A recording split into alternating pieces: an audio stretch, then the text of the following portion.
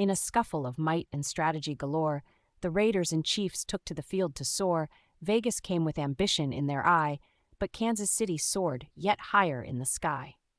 With a score settled firmly, 31 to 17, the Chiefs danced in the end zone, so lively and keen. Mahomes tossed the pigskin with nary a care to find Rashee Rice floating light as air. The Raiders, they huffed and they puffed with might, but the Chiefs' defense stood tall in the dwindling light. A field goal by Butker stretched the lead wide as the fans of KC took the win in their stride. Andy Reid, with a grin, notched another win, becoming the coach with the mostest, much to the Raiders' chagrin. Oh, glory to the Chiefs on this victorious day, as the Raiders trudged off with little to say.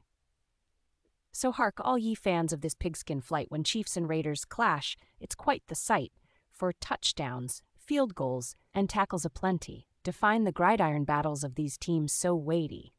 And now, dear folks, the poem finds its end, for there's only so much football verse one can bend. But remember the clash of the AFC West and the Chiefs claiming their triumph as the undisputed best.